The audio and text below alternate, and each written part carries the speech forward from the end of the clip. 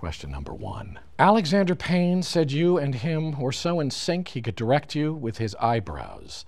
Is that true, and do you have an example? Boom, boom, boom. Faster. That's faster.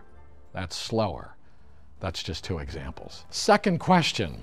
What is the secret to playing lovable curmudgeon so well? You just have to be a lovable curmudgeon. That's me. What was your worst subject in school? Thanks for bringing that up. Math. Still have nightmares about math class. I won't go into that, but I still have nightmares about math class. What was the one time you got detention and why?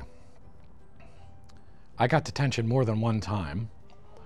And uh, frequently it was because I would cut class to go read to go read in the library, to go read like science fiction books in the library.